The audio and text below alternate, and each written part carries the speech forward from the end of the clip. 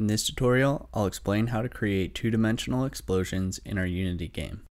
I'll start by creating an image in Photoshop, importing that image into Unity, creating a material from that image, and using the material to set up a series of particle effects that gives us a cartoon-styled explosion.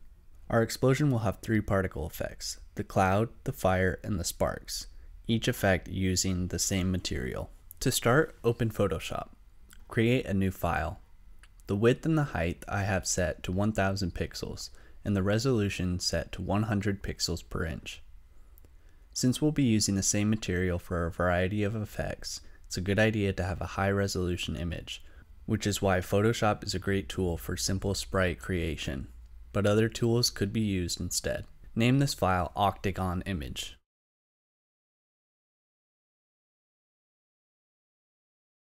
Disable the default background layer and create a new empty layer. Next, draw an octagon using the lasso tool, which can be selected pressing L on the keyboard.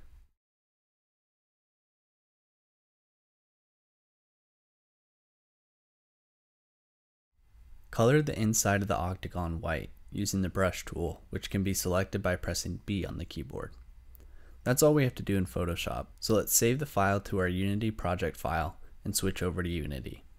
If the image you imported is not from Photoshop, and thus is not a Photoshop file, you need to convert the image into a sprite in the Unity editor before converting the image into a material. Simply select the image in the inspector panel and select the convert to sprite option.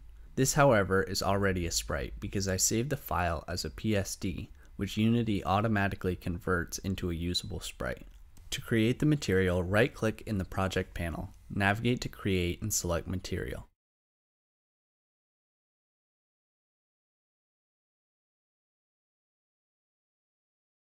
With the material selected, navigate to the Inspector panel, and in the Shaders dropdown, select Legacy Shaders, Particles, and select Additive Soft. Drag and drop the sprite into the texture selection box, then change the soft particles factor to 2. Next, to stay organized, I'll create an empty game object to store our particle effects in, but I suppose it's not completely necessary.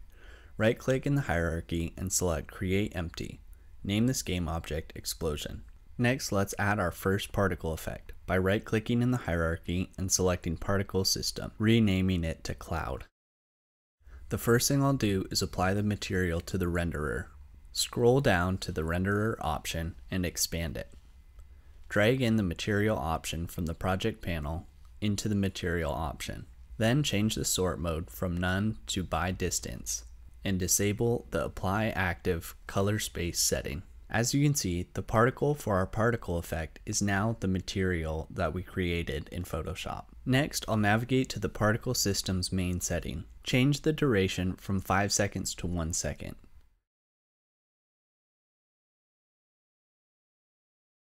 Then change the start lifetime to between two constants, setting each constant to 0.25 and 3 respectively. Change the start speed to between two constants, setting each constant to 0 and 5 respectively. Then change the start size to between two constants, setting each constant to 0.5 and 3. Lastly, change the start rotation to between two constants, setting each constant to 0 and 360. By setting these variables up to be randomized between two constants, each explosion should appear unique from one another. Next, let's change the gravity modifier to negative 0.2 and set the culling mode to always simulate. By setting our gravity modifier to a negative number, the clouds will rise instead of fall towards the bottom of our screen. Next, in the emissions tab, I'll set the rate over time to zero and add a burst to the burst list, keeping all the default values. This way our particle effect will burst and then disappear rather than continuously play. Now in the shape tab, I'll change the shape variable from cone to sphere and decrease the radius thickness from 1 to 0. Let's enable the limit velocity over lifetime tab and change the speed to random between two curves. We can leave those curves as their default and simply change the dampening to 0.1. This will force each of our particles to slowly decrease their speed throughout the plane of the effect. Enable the Color over Lifetime tab. In the Gradient Editor, I'll add a marker at the top near 60%, setting the alpha to 200. Then, with the top ending marker selected, I'll set the alpha to 0.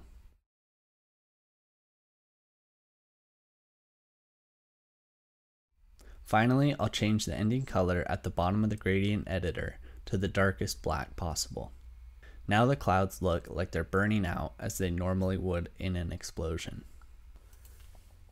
Next, I'll enable the Size over Lifetime tab and change the size to random between two constants. Setting each constant to 1 and 0.5 respectively. Enable the Rotation over Lifetime tab and change the angular velocity to random between two constants, setting each constant to negative 100 and positive 100, respectively. Lastly, let's disable the looping option in the main settings. This gives us a really good base animation for our explosion, but let's continue on and create the fire particle effect. Right click in the hierarchy panel, navigate to effect, and select particle system. Begin by applying our material to the renderer.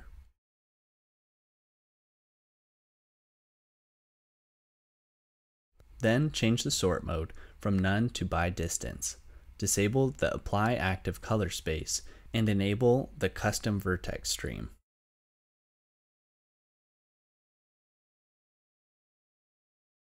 In the particle's main settings, change the duration from 5 seconds to 1 second.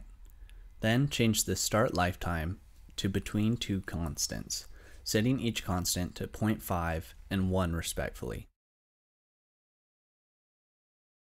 Change the start speed to 0.75 and change the start size to random between two constants, setting each constant to 3 and 6 respectively. Change the start rotation to random between two constants, setting each constant to 0 and 360 respectively. Next, change the gravity modifier to negative 0.1 and change the culling mode to always simulate.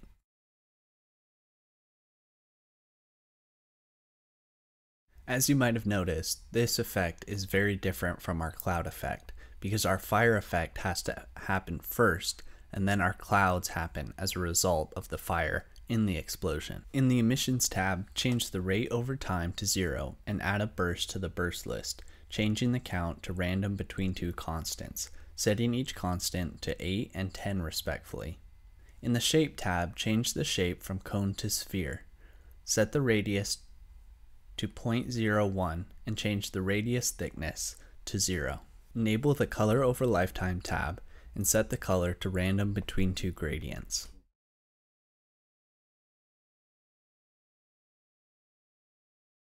In the first color, let's add a marker to the top of the gradient at 80%, setting the alpha to 200. Then for our last marker on the top side of the gradient, let's set the alpha to 0, so that the effect will slowly fade away. On the bottom of the gradient editor, let's add a marker at 60% and at 80%. Set the color for the marker at 80% to black. And set the color for the marker at 60% to orange. Lastly, let's make sure that the color for the ending marker on the bottom of the gradient editor is set to black. Next, for the second color, Let's add a marker to the top of the gradient at 70% and set the alpha to 150. For the last marker on the top of the gradient, let's set the alpha to 0. On the bottom of the gradient, add a marker at 10%, a marker at 60%, and a marker at 75%. For the marker at 10%, Set the color to light orange.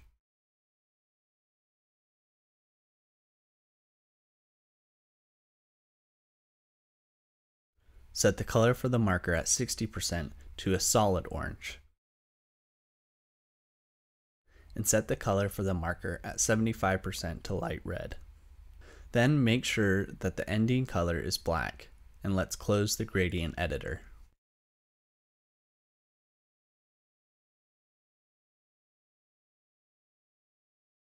Next, enable the Size over Lifetime tab and set the size to curve, selecting the graph that looks closest to an inverse square root function.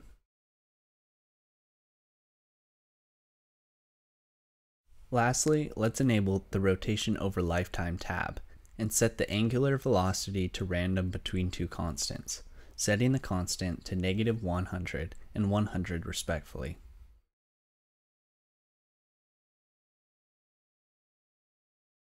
I'll disable the looping for the fire and now you can see the cloud and the fire match up very well. Let's move on to the final spark particle effect for this tutorial. Add a new particle effect by right clicking in the hierarchy, navigating to effect, and selecting particle effect. I'll name this effect sparks. First, let's apply the material to the renderer component. Then change the renderer mode from billboard to stretched billboard. Change the speed scale to 0.1, the length scale to 10, and the normal direction to 0.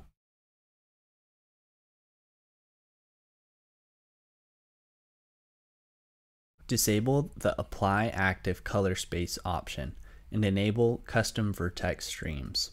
Next, in the main settings of the particle, change the duration from 5 seconds to 1 second.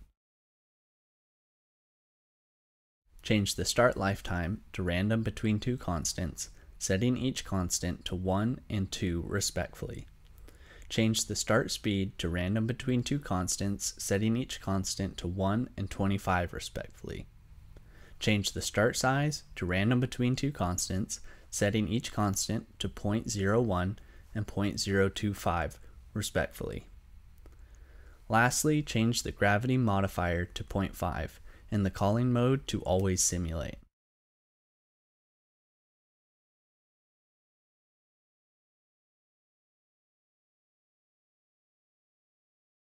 In the Emissions tab, set the rate over time to zero and add a burst to the burst list, changing its count to random between two constants, setting each constant to 20 and 30 respectively. In the Shape tab, change the shape from cone to sphere and set the radius thickness to zero.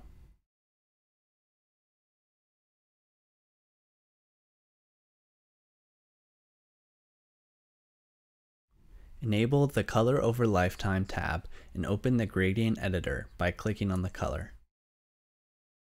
Let's move the first marker on the top to 50% and set the alpha for the last marker on the top to 0. Then set the color for the first marker on the bottom to light yellow, and set the color for the last marker on the bottom to orange.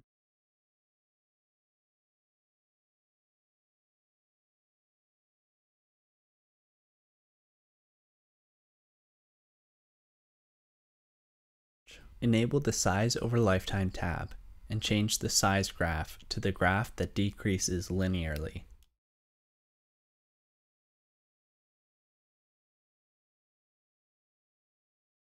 Enable the rotation over lifetime tab and set the angular velocity to random between two constants, setting each constant to negative 100 and 100 respectively. Now let's disable the looping option for the sparks and drag the spark effect into the cloud effect so that they all play together. I hope this tutorial was helpful for learning how to create 2D particle effects in Unity. Let me know if there are any other effects you'd like to see built in the comments below and make sure to subscribe to the channel.